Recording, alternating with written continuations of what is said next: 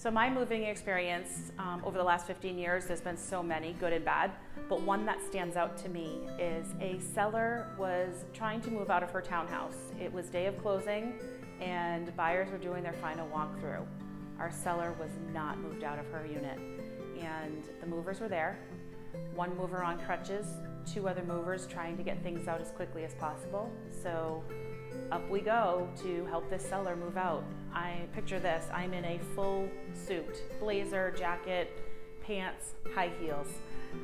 Pulled the high heels off and we helped these movers uh, get this seller moved out of her townhouse so these buyers could move in.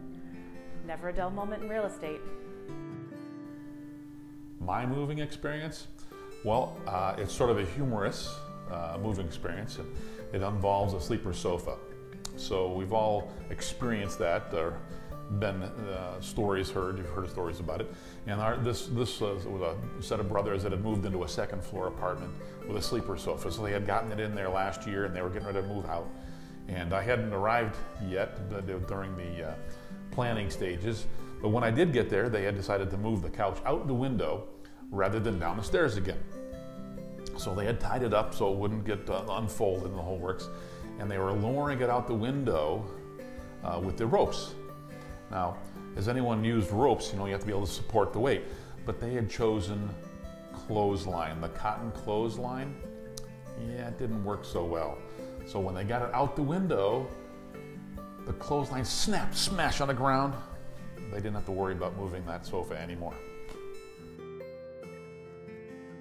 So, my moving experience is one that I have frankly tried to block from my memory, but um, in thinking about this, it has come up again today.